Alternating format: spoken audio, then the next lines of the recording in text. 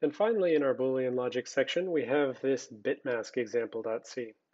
In the code, we have A, which is set to some hex value, B, which is set to some hex value, and then an if statement where it takes and it does a bitwise AND on A and B, and then based on whether or not that's zero or non-zero, it's going to return total or tot. So we can tell just by looking at the values that are operated on that it's definitely going to return non-zero. But the interesting thing about this example is even though this is a bitwise AND here, we don't see a bitwise AND in the assembly.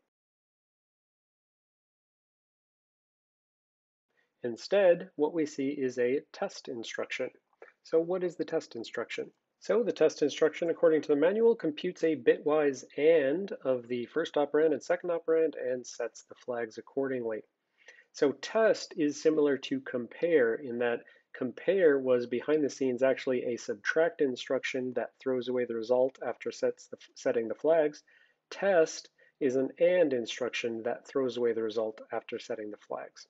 So we can understand why this might be generated here because although the C says to do a bitwise AND, it's not actually storing that bitwise AND anywhere. So it doesn't need any, so it doesn't want to overwrite any particular value with the result of that AND.